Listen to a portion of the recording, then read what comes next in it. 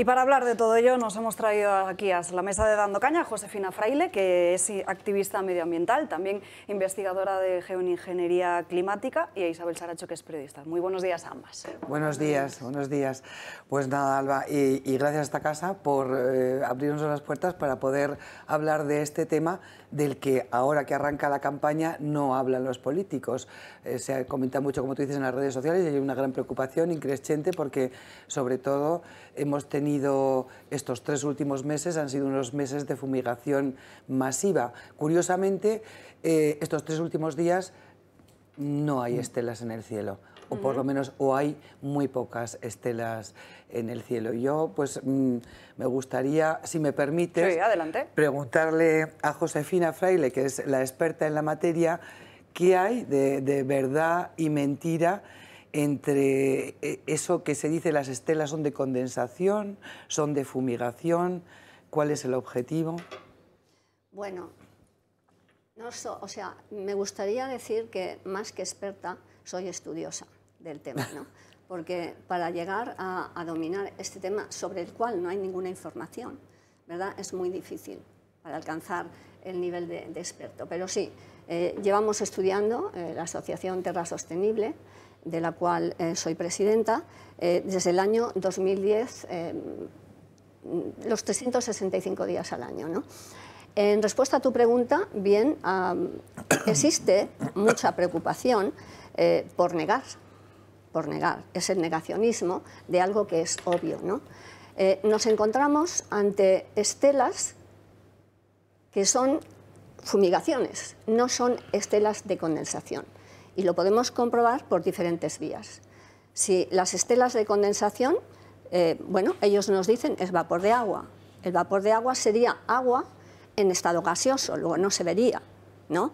Y si, fueran, eh, si fuera, por ejemplo, eh, estelas de, condensación, es decir, vapor de agua, la luz solar atravesaría esas estelas y, sin embargo, la luz solar no atraviesa esas estelas. ¿Por qué? Porque no es vapor de agua. Son aerosoles que han sido dispersados con distintos fines. Entonces queda claro que no son realmente estelas Es decir, que, que, lo que, que, lo que nos eh, estamos viendo en el cielo no es una imaginación, no es fruto de nuestra imaginación ni de nuestra conspiranoia.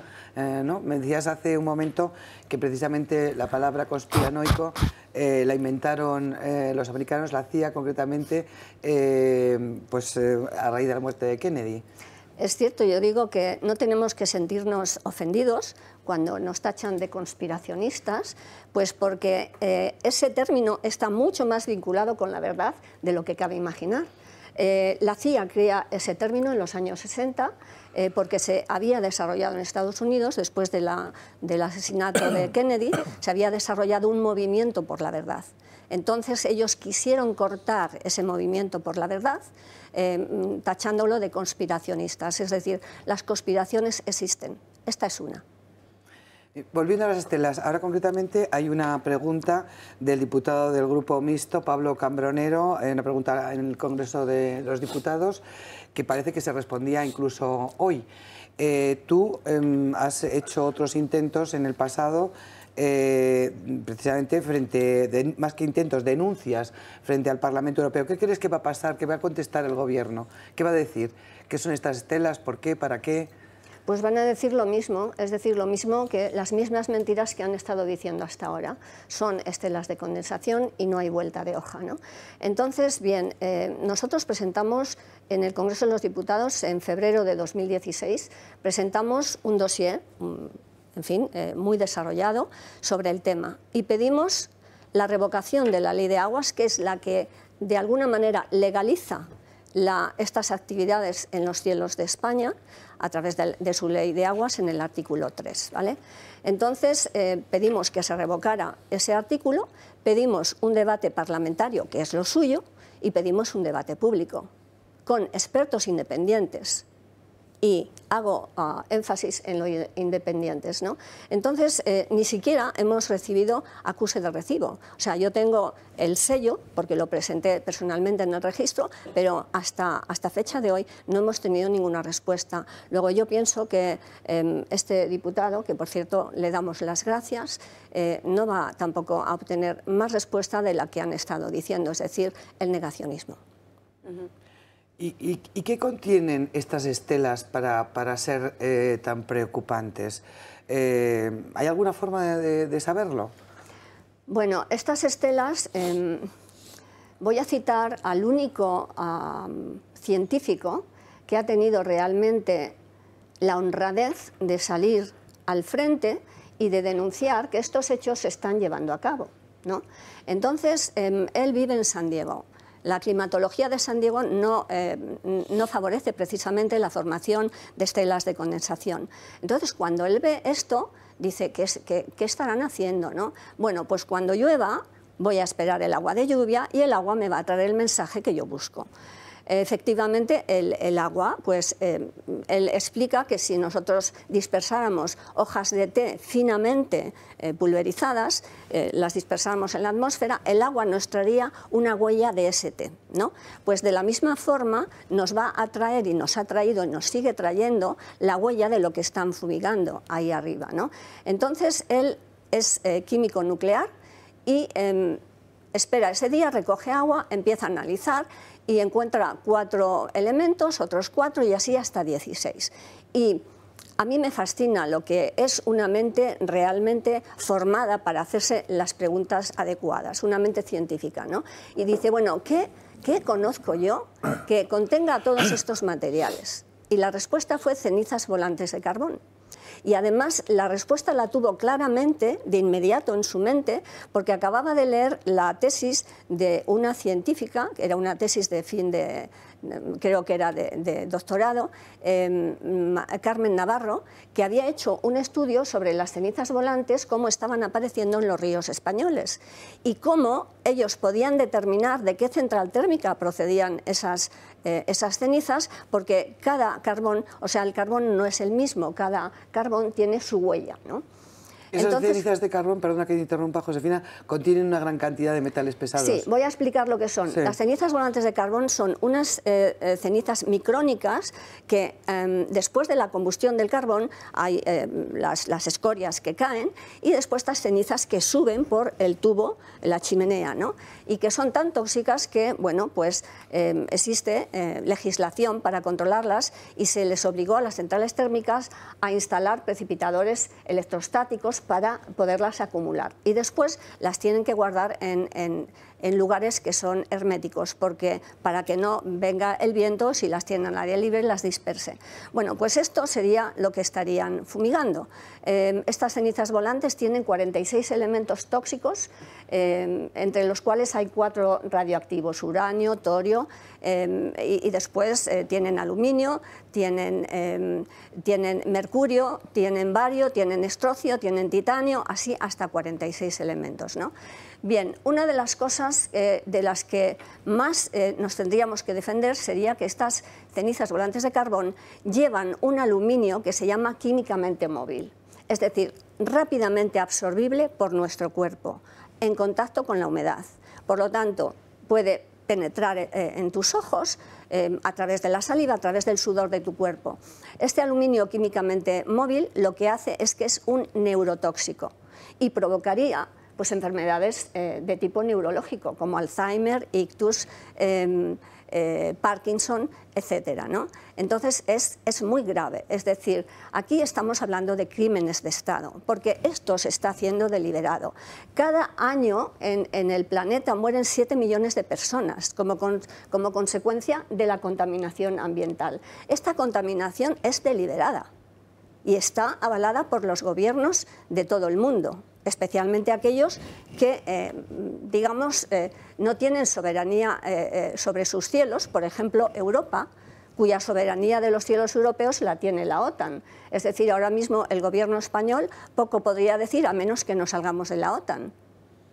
O sea, que ¿Cuál sería el objetivo que se persigue? ¿El exterminio de la población o, sin embargo, la creación de estas enfermedades que nos estás comentando para un posible beneficio de farmacéutica? Mira, creo que, si me permites, em, voy a leer una cita eh, que nos va a aclarar todo esto.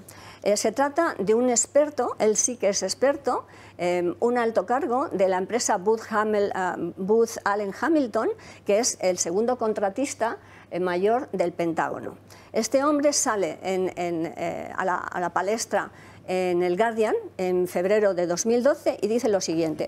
Pocos en la sociedad civil entienden que la geoingeniería es ante todo una ciencia militar y que no tiene nada que ver con atenuar la temperatura del planeta o disminuir la emisión de carbono, porque esa es la excusa que nos dan. Puede parecer una ficción, pero el clima se ha armamentizado. Al menos cuatro países en aquel tiempo, eh, Estados Unidos, Rusia, Israel y China, tienen la tecnología y organización para alterar regularmente el clima y actividades geológicas para diferentes operaciones militares y operaciones ocultas relacionadas con objetivos secundarios, incluida la gestión de recursos demográficos, energéticos y agrícolas. La guerra incluye ahora la capacidad tecnológica para inducir, aumentar o generar sucesos ciclónicos, terremotos, sequías, inundaciones, incluido el uso de aerosoles polimerizados, agentes virales y partículas radioactivas transportadas a través de los sistemas climáticos globales. Desgraciadamente, algunos temas de debate público, incluido el calentamiento global, se han sumado a objetivos más amplios, comerciales y militares, que nada tienen que ver con las grandes preocupaciones del público sobre medio ambiente. Estas incluyen el calentamiento global de las regiones polares para facilitar la circulación naval y la extracción de recursos. Esto es en 2012. En 2015 China aprueba la alternativa al canal de Suez. ¿Vale? por el Ártico. En 2017 el país publica Putin inaugura la planta de Ártico que suministraría gas ruso a España por primera vez. El economista publica la, naviera Merckx cruzará el Ártico por primera vez con un buque portacontenedores. Y esto en junio de 2019 Mike Pompeo, eh, eh, secretario de, Estado, sale diciendo, eh, alabando realmente el cambio climático, el calentamiento global, porque supone, nos ofrece nuevas posibilidades de comercio. Le pregunta Mazale Aguilar. Yo trabajo en el Parlamento Europeo. Es verdad que España está en la OTAN, somos 27 países. En la Unión Europea no todos están en la OTAN, pero esos aviones, yo entiendo poco de aviación, es verdad, nunca he sido piloto, no son aviones militares. Es decir, los cielos europeos, es verdad que, insisto, formamos parte de la OTAN, pero esos aviones que estamos viendo, que es verdad, yo estoy de acuerdo contigo, no es vapor de agua lo que están soltando, pero a mí la, pregunta que esta es la interrogante, es decir, ¿a quién beneficia? Eh, como en las novelas de, de, Agatha Christie. Eh, insisto, no son aviones militares, no, no lo son. De modo que, ¿qué tipo de aviones están lanzando, lo que sea que estén lanzando? Y, otra historia. Estoy en la Comisión de Agricultura y a mí uno de los temas que más me, están preocupando en estos momentos, igual que al resto, es la sequía. Seguramente vamos a, tratar ese tema, si no lo sacaré porque Alba me va a dejar que dé dos pinceladas de... Por eso te pregunto, ¿a quién beneficia? Es decir, ¿cabe la posibilidad de que una de las razones eh, que tú estás arguyendo por la que se esté lanzando, lo que sea que se está lanzando, es para evitar que llueva? es para evitar, o mejor dicho, para prorrogar esa sequía, porque en un momento determinado, y en cuanto a España se refiere, que estamos al borde de la catarsis, eso puede favorecer, por ejemplo, a otros países que inundan los mercados europeos con sus productos, como puede ser eh, Marruecos. Marruecos, como puede ser Egipto, como puede ser Turquía, como puede ser eh, este, Sudáfrica. Eh, te hago esas preguntas porque, insisto, no soy ninguna. Lo único es verdad es que, bueno, la interrogante es decir, ¿qué demonios está pasando? Insisto, ¿está, está esto, esto que estén fumigando provocando que no llueva, porque sí sabía y he leído que de la misma manera que se puede provocar la lluvia, se puede provocar la sequía. Esto no es nuevo tampoco. Entonces, me, encantaría que me dieras un... ¿Cabe la posibilidad de que lo estén haciendo totalmente a propósito, no tanto lo que estás comentando como, digamos, como arma química o arma de destrucción o arma militar, sino por eh, intereses, eh, y siempre van la pasta por detrás, intereses de, estas características? bueno, ante todo la felicito por el análisis que ha hecho, que no es nada obvio para las personas, digamos, que están alejadas de este mundo sin haberse tomado mucho tiempo para investigar. ¿no? Bueno, eh, son aviones militares, son civiles y son drones. Los drones son militares, ¿vale? Eh, no todos. ¿Eh? Y no, todos. no todos tampoco, efectivamente. Pero esos, esos, aviones, a ver, entiendo un poco, ¿eh? O sea, procedo de familia militar, con lo cual, esos aviones que yo he visto en, esas, en ese tal, esos no son militares. Mire usted, em, efectivamente, eh, los que usted ve no son militares, pero a lo mejor los militares salen cuando no los vemos, ¿vale? Bien, entonces, el, creador de esta, de esta supuesta fórmula para paliar el calentamiento global, que según dicen es consecuencia del CO2, que es una falacia, entonces, eh, bien, eh, el mismo negaba, se llama Edward Teller, es el padre de la bomba de hidrógeno, era el Benjamín del proyecto Manhattan. Mm. Él sabe perfectamente, sabía que no existía calentamiento global. ¿Este trabajaba con Oppenheimer? Eh, no, lo sé pero sí, si estaba en el grupo del proyecto Manhattan estaría trabajando con él. Entonces, em, eh, cuando vuelve Clinton de la cumbre de Río, que ahí se cocinó todo, ahí nuestros, eh, nuestros políticos vendieron la soberanía total de los países, todos ellos, Em, entonces eh, le dicen, oye, habéis hecho el gran ridículo, no hay manera de probar que existe un calentamiento global, vais a quedar fatal. Y entonces cambian rápidamente a cambio climático, ¿no? Pero este Edward Teller decía, eh, bueno, em, yo no te puedo hacer un informe diciendo que hay calentamiento global porque mm, sé que no lo hay. Entonces, eh, pero, mm, oye, el dinero parece ser que compra voluntades y, finalmente Edward Teller termina haciendo un informe fantástico sobre la necesidad de poner a punto pues, mecanismos de geoingeniería. La geoingeniería viene definida como manipulación deliberada del clima a escala global. El clima es a escala global. Bien, entonces él mismo dice, esto no se puede hacer únicamente con aviones militares, necesitamos a la aviación civil. Ahí tiene usted la respuesta. Gracias. Bien. Y sí, eh, estas operaciones, como hemos visto de la, de la cita del, señor eh, Matt eh, Anderson, se emplea exactamente para cualquier cosa, pero incluidos los mercados, los mercados agrícolas. En España, eh, en el año 1963, la Organización Meteorológica Mundial hace una especie de concurso, saca licitación eh, bueno, pues el hecho de que mm, están buscando países que, eh, que se propongan para ser experimentales en investigación del clima. Bien, se presentaron 15 y España fue elegida. Pero aunque se hubieran presentado los 190 o 90 y tantos que hay, España habría salido elegida. ¿Por qué? Pues porque España les interesaba. España es el trampolín a África y España es el trampolín a, Sudamérica ¿no? y a Centroamérica. Entonces, em, salió eh, escogida España, aterrizan en España eh, desde el 63 al 79 que Calvo Sotelo firma el contrato de experimento, o sea, para eh, convertir a España en país experimental, pasaron unos cuantos años. ¿Por qué no lo hicieron antes? Bueno, pues porque Franco se había negado a, eh, a suscribir cuando un país entra a formar parte de Naciones Unidas, tiene que firmar sí o sí algo que se llama protocolo de privilegios e inmunidades. Es decir, que todos estos psicópatas y sociópatas que están haciendo esto, encima están exentos, no los podemos llevar ante los tribunales a menos que cambiemos los tribunales, y también lo podemos hacer. Bien, entonces, bueno, esta es la, situación. Eh, eh, cuando uno quiere mm, demostrar que manipula el clima, o sea, España firma el contrato y dice, bueno, pues vamos a trabajar en las dos fases.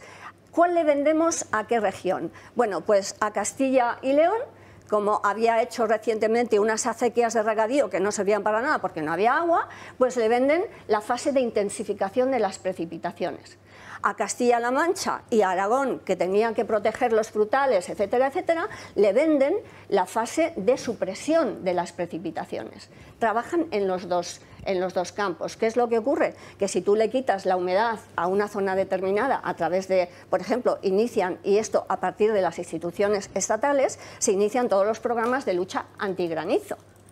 No, no, ya están interviniendo en el tiempo de, esa región, en el tiempo que caracteriza a esa región. Y si tú intervienes ahí, le estás robando a lo mejor la humedad que necesita Soria, ¿no? Por ejemplo, que fue lo que pasó. Y ahí se crea una, un movimiento de 190 municipios que se unieron para decir que esto paralice ya, se paralice ya. Eh, lo mismo, Incluso el mismo geoingeniero que está a cargo de esos programas sale diciendo que los agricultores están un poco para allá porque es que esto es imposible, ¿no? y él estaba trabajando en ese proyecto. Es para colgarlo, ¿no? Es decir, no, por, realmente por las consecuencias que tiene para la salud y para el mercado, para el mercado agrícola, ¿no? En estos momentos la sequía está siendo provocada. Hemos visto cómo tienen la capacidad para producir sequías y para controlar los mercados agrícolas. ¿La contesté? Me contestó, además conozco muy bien de lo que está hablando. Por este lado de la mesa, Miguel y Francas. Bueno, o sea, que tenemos una sequía es eh, innegable, ¿no? Y además es eh, impresionante, ¿no? Porque los datos ahora de los envases están, eh, los envases están ahora mismo de su capacidad el 48,9%, mientras que la década del que va del 2013 a 2023 la media era del 68,5, es decir, que ha caído un 20% en un año, de, del año pasado a este, una barbaridad. Entonces, eh, no solo ha, preguntado el diputado Cambronero en el Congreso de los Diputados, también un eurodiputado de Junts pel ha preguntado a la Comisión en el Parlamento Europeo sobre el tema y han sido muy escuetos con la respuesta. Simplemente le dicen al diputado que la Comisión ha investigado la cuestión con las autoridades meteorológicas, digamos, eh, españolas y no ha encontrado prueba alguna de, que, eh, de estas alegaciones ¿no? de la geoingeniería. militar para cambiar el clima en España. Eso es lo que dice el Parlamento, la Comisión, mejor dicho. Bueno, claro, luego lo que dice Mazali, de, que es verdad que a veces hacen cosas incomprensibles, ¿no? que afectan al propio interés nacional. ¿no? Por ejemplo, cómo se está potenciando la agricultura en Marruecos, mientras a los de aquí básicamente no se le da ningún tipo de ayuda, no se le da ningún tipo de... Y se demuelen, y se... bueno, y mientras tanto se, están demoliendo los azudes, las no se invierte lo que se debería invertir, efectivamente. eso es a más a más. Claro, eso, pero, eso, es ya el tema aparte, ¿no? Absolutamente. Y, y, claro, cabe preguntarse por qué no estamos pegando este tiro en el pie, ¿no? Si esto, si esto fuera cierto, ¿no? Porque iba a consentir nuestro propio gobierno o la propia Comisión Europea que eh, se afectara a un país miembro o al propio país, eh, como es España, en el tema de la sequía. Pero mm, esto hay, o manera científica de digamos, eh, demostrarlo para que efectivamente se pudiera llegar con una prueba a un juez. Oiga, es que mira los datos que hemos recogido científicamente de que se está haciendo esto de verdad. Pero claro, esto la vía, si el poder político por alguna razón no quiere, la vía es judicializarlo y ya que, ahí pues, se prohibiera a lo mejor este tipo de prácticas, ¿no? que según ha dicho pues, son eh, perfectamente legales por el momento. ¿no? Bueno, el problema no es judicializarlo, el problema es que tenemos una Fiscalía del Estado que está vendida. O sea, como nosotros, como activistas que tenemos realmente pruebas, tenemos analíticas a lo largo de los años, por cierto, no de un análisis, ¿no? Es decir, eh, ¿de qué te sirve iniciar una acción judicial que no podemos pagar en el sentido de que tenemos que asumir unos, unos costes de, procuradores, de abogados, etcétera? En primer lugar, también el abogado tiene que saber qué es lo que defiende. Eh, generalmente no están duchos en este tema y, es de entender, ¿no? Entonces, eh, bueno, uno presenta una denuncia cuando tienes, eh, digamos, una, una mínima posibilidad de que se te admita trámite. Pero es que en esta situación, con una Fiscalía del Estado que es política, o sea, ¿qué garantías puede tener eh, cualquier activista, cualquier ciudadano, cualquier asociación, cualquier persona de que esa denuncia sea y en el, el, hipotético caso de que efectivamente os dieran la posibilidad, llegará el prostitucional y dirá que, que no. Ya lo sabes, o sea, yo soy yo y yo soy yo, la mamá de Tarzán. Entonces da igual.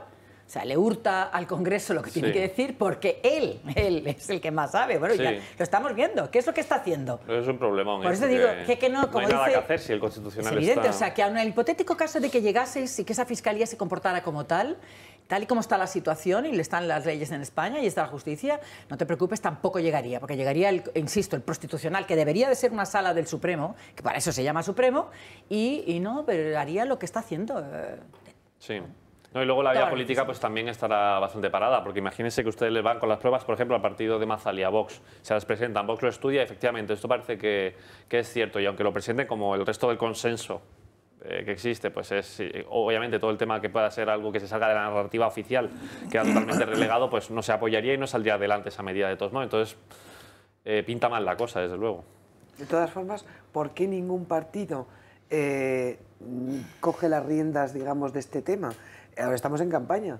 Ningún partido, ni Vox, ni el PP, ni el PSOE, ninguno dice No, no te puedo, fíjate que yo eh, no puedo contestarte a esa pregunta, porque a mí me parece que, y sí que es verdad que, que, siempre lo llevo a mi terreno, que es la, que es la agricultura, sí que me encantaría que, que, que alguien de, de, pero no de un partido, de todos, pero el mío Sí, en, en concreto, cuestión a ver, no sé quién lleva estos temas, pero los de agricultura sí que lo sé. ¿Cuál que es el suyo, perdón? Vox. Vox. Vox. El, el- el portavoz de, de- en la Comisión de Agricultura se llama Ricardo Chamorro. Es un señor de Ciudad Real, es un tío que lo, se curra un montón su, su trabajo. A ver, yo del tema agricultura sí que entiendo. De otros temas, eh, no, de medio ambiente no estoy. Hay- es verdad que en, en Europa sí que hay una Comisión de Medio Ambiente. Por cierto, creo que en la Comisión de Medio Ambiente nuestra está Germán Terch, creo, no estoy muy seguro. Pero, pero bueno, eh, en un momento determinado te puedo dar, de- digamos, los, los correos para que os podáis poner en contacto con, Claro. con ellos, porque sí que es verdad que a mí este tema me parecería que debería, debería Sí. de ser, por lo menos, eh, llevarlo a cabo. Disculpadme que nos estamos quedando sin tiempo. Me gustaría que Francas Sí, plantease que pasa una no- última no- cuestión. No va a dar tiempo a lo que, porque, a ver, creo que, que habéis abierto 25 hospitas, y es muy complicado. Por ejemplo, una primera que no, no acabo de entender, cuando has dicho lo que dijo Mike Pompeu, hombre, yo pensé que no era imbécil este señor. Claro, si este señor dice que, des- que, que se deshiele al, al Ártico y esto es beneficioso, supongo que para Nueva York no, porque va a desaparecer. O sea que no, no acabo de creerme que sea tan idiota como para haber dicho Pues ahí eso. tiene usted los periódicos para Pues leerlo. es, es un problema grave. Eh, a ver, segunda cosa, yo que, que el vapor de... que no sea vapor porque no deja pasar el sol, mm, me acaba de desconcertar eso, porque las centrales nucleares sacan vapor, no deja pasar el sol y es vapor de agua. O sea, no dependerá de que sea vapor, dependerá del grado de densidad del vapor. Si hay más densidad, pasará menos el sol que si no la hay. O sea, para mí El eso- vapor es vapor. eh, Sí, eh, pero, eh, eh, sí, pero sale concentrado. Para mí eso no sería una prueba. Sí, sí sería una una, prueba. el análisis de lo que llega al suelo. Pero claro, el análisis de lo que llega al suelo para mí no es prueba de lo que tiran, sino lo que, lo que expulsan. Es decir, eh, eh, los aviones van con combustible. Y ese combustible no expulsa una serie de metales. Ah, Porque claro, lo que sería un milagro es que los aviones con el combustible normal y sin nada sacaran cosas que no tienen. O sea, sí, con lo cual supongo que eso estaría en el combustible. Sería tan fácil como que con un juez que para un avión y analice qué combustible lleva, sepa si en el combustible hay cosas que no deben estar No, no o si deben estar.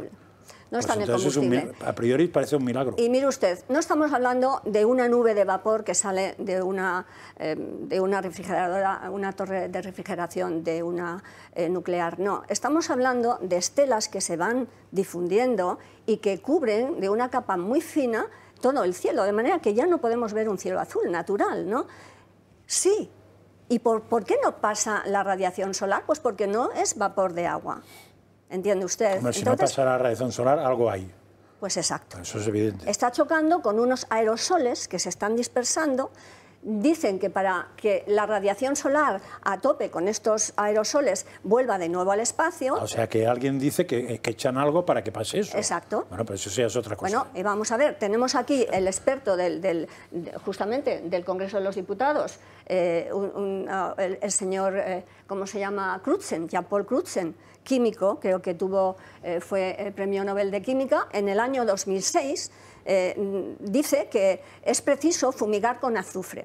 ¿Por qué? Porque mm, cuando erosiona el volcán Pinatubo en el 91 en Filipinas, se cubre todo de cenizas y se observa que no solamente a nivel regional, sino a nivel global, bajaron las temperaturas. Y entonces él dice, Kabila, y dice, bueno, em, hacer em, artificialmente estas cenizas volcánicas va a costar una fortuna y esto no es, ¿no? Entonces piensa que el azufre. Bueno, curiosamente, las cenizas volantes de carbón son gratis porque son un residuo, ¿vale?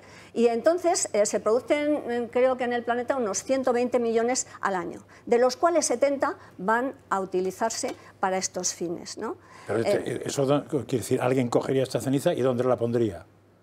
Eh, eh, en eso, así que me gustaría a mí que un juez dijera, vamos a aterrizar a un avión de esos y vamos a Claro, ver dónde comparar llega un la avión carga. antes de salir y lo tendrían la prueba de lo Está que claro. está Exacto. pasando. Quiere- me- a ver, yo no tengo ninguna duda que los distintos gobiernos, por su cuenta o juntos algunos, están investigando sobre cómo modificar el clima, no tengo ninguna duda. Que están modificando cómo aprovechar para la guerra, tanto en el tema de volcanes, todo eso, no tengo ninguna duda, vamos. Serían tontos si no lo hicieran, porque además conociéndolos, ahora, que eso llegue a un tema mundial, que se pongan todos de acuerdo para hacer una salvajada de este estilo, hombre, creo que alguien con sentido común diría algo más que un científico en Estados Unidos o 27. O sea, me cuesta creer eso. Me a ver, me cuesta creer, no que investiguen, sino que lo hagan. Evidentemente puede haber coincidencia de intereses. entre muchos. No, no, dirección de un pájaro, sino conciencia, puede ser. Pero eh, es que es muy fácil de probar lo contrario. Es que con, con paralizar un avión tiene resuelto el tema. O sea, para, Uno con un varios, juez que paralice claro. No, un avión... es que no, a ver, tendríamos que saber que, que ese avión eh, lleva la carga que estamos diciendo, ¿no? Entonces se, te- se tendría que hacer de manera sistemática, aleatoriamente. Pues eso, pues en vez de uno, Entonces, 200. Pero... Me parece bien su espíritu escéptico, porque como decía Carl Sagan, eh, es preciso utilizar el escepticismo cuando aplicamos la ciencia, pero también cuando aplicamos la política. Es decir, tenemos que cuestionar a aquellos que tienen autoridad sobre nosotros. ¿no? Y la respuesta a la que ningún partido ha cogido las riendas de este problema, que es un atentado contra la salud pública y que, por cierto, la salud pública es un bien jurídico que se tiene que defender a ultranza. Y no veo a ningún fiscal realmente de este país tomando la iniciativa de defender ese bien jurídico. ¿vale? Porque no saben cómo, no saben ni de qué va. Bueno, pues que En pregunten. parte. Ya, Mira, ya, pero- eh, sí que quiero decir que esta casa ha entrevistado a este doctor Marvin Herdon, que su eh, eh, página web es Nuclear Planet, terminado en t.com, y que ahí van a encontrar a ustedes todos, todos los datos científicos que se precisan para defender este tema. ¿no? Josefina e Isabel, muchísimas gracias por estar hoy aquí con nosotros. Nos Gracias hemos a quedado sin tiempo, pero me gustaría que volviésemos a charlar un día sobre toda esta cuestión. Hay mucho que hacer días. porque lo que hay que hacer es seguir la traza del dinero y ahí tenemos unas sorpresas impresionantes. Han visto que Gracias. sobre el tema de cambio climático Nos tenemos que ir rápidamente a una